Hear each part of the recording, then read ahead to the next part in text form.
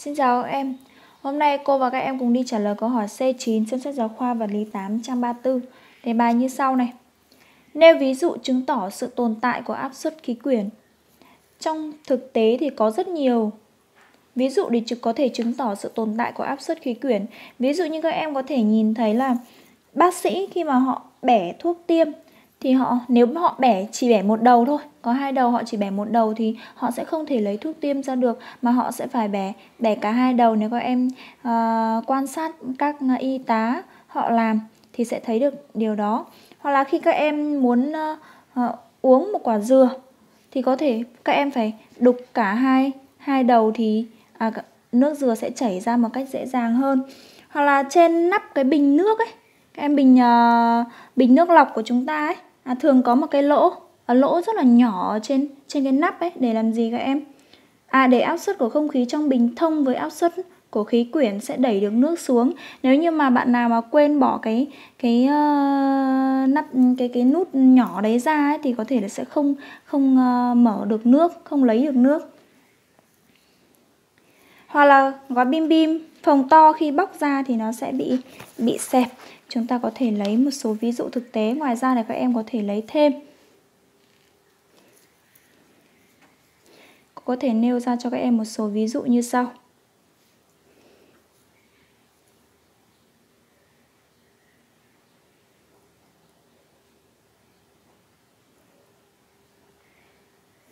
Một số ví dụ chứng tỏ sự tồn tại của áp suất khí quyển.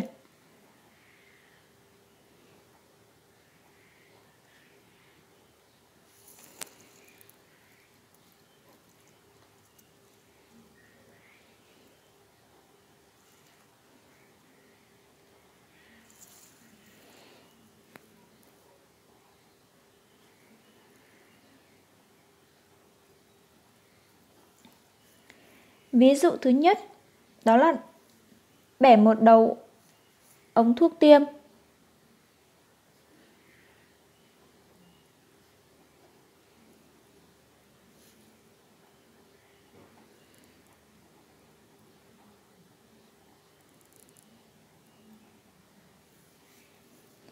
Thuốc không chảy ra được.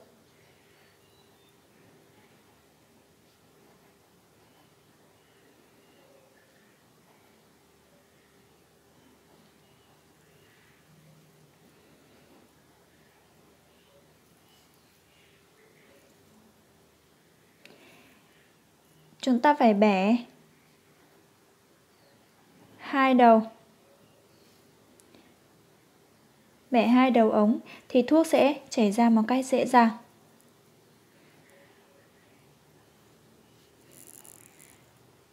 Thuốc chảy ra dễ dàng.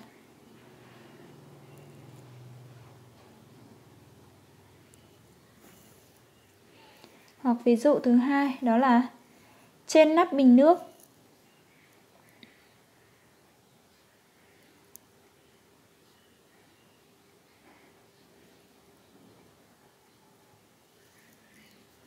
Có lỗ nhỏ.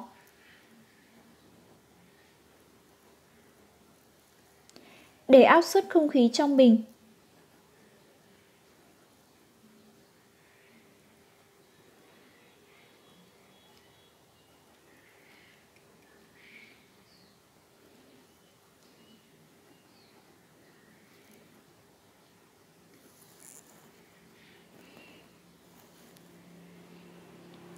Thông với áp suất khí quyển.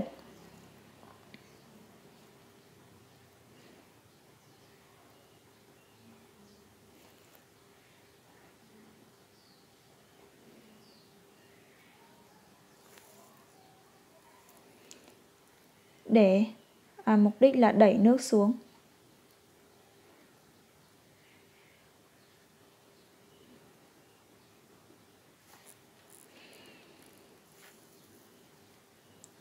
Ví dụ thứ ba. Đó là gói bim bim phòng to.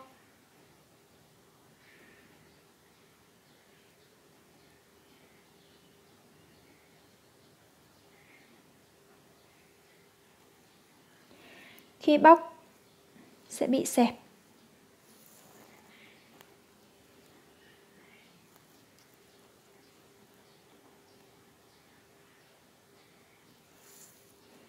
Đó là một số ví dụ. Ngoài ra các em có thể lấy thêm các ví dụ khác.